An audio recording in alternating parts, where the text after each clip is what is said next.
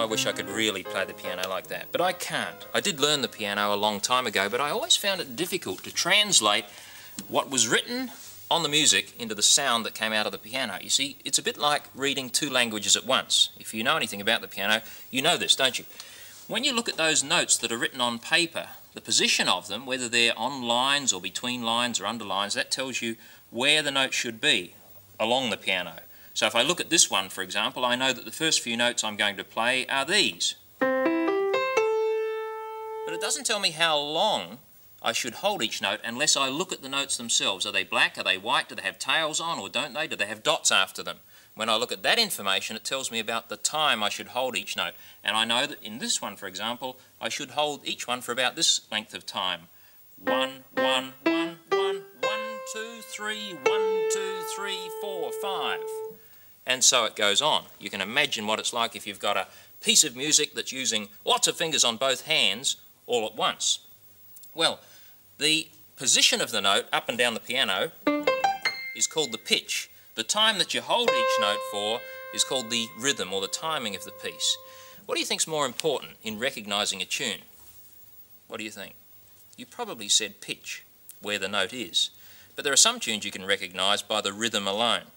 See if you can recognise this tune, which I'll play with my knuckle on a block of wood. You ready for it? Listen.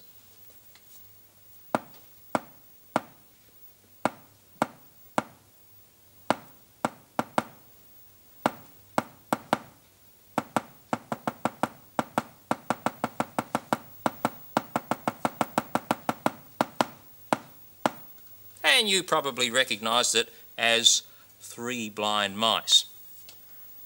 It was easy to recognise it from the rhythm alone without knowing anything about where the notes were.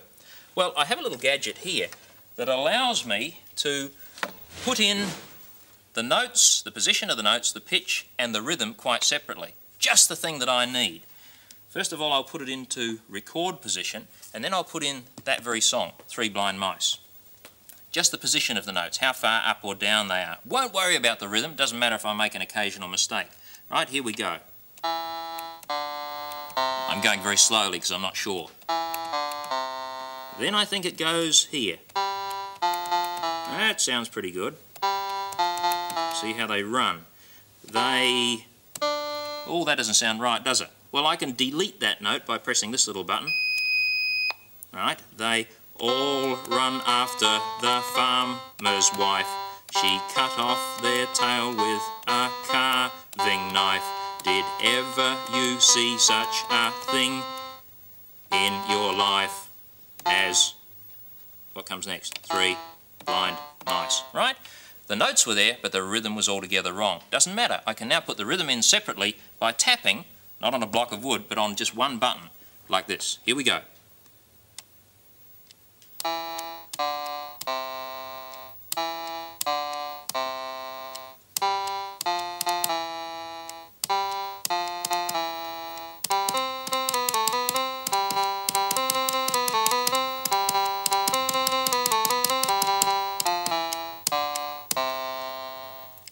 Put rhythm and pitch in separately.